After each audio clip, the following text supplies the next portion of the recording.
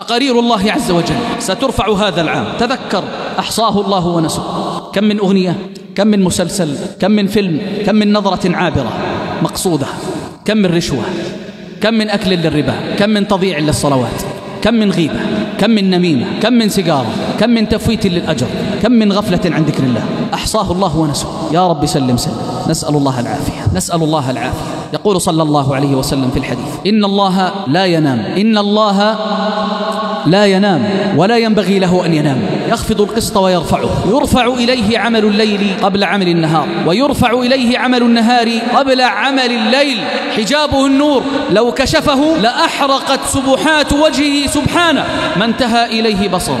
عباد الله كان السلف رحمهم الله في مثل هذا الشهر يلجؤون إلى الله ويجأرون إلى الله خشعا وبكيا لا يتقبل الله سبحانه وتعالى منهم الأعمال. كانوا يبكون بكاء حتى تتفطر منه الأكباد خوفا من أن لا يتقبل الله سبحانه وتعالى منهم الأعمال. فماذا أقول أنا وأنت؟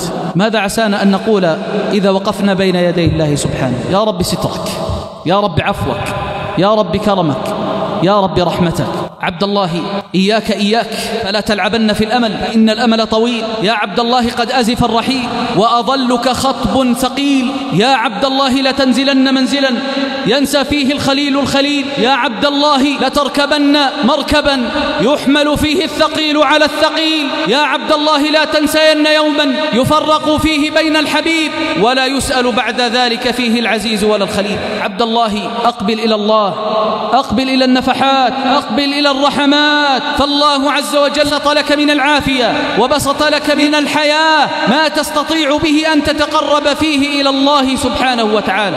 الله الله في صيام النافلة. قال صلى الله عليه وسلم ما من عبد صوم يوما في سبيل الله إلا باعد الله بذلك اليوم وجهه عن النار سبعين خريفا. سبعين خريفا.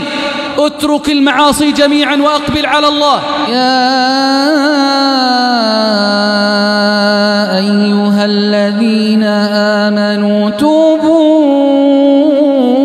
إلى الله.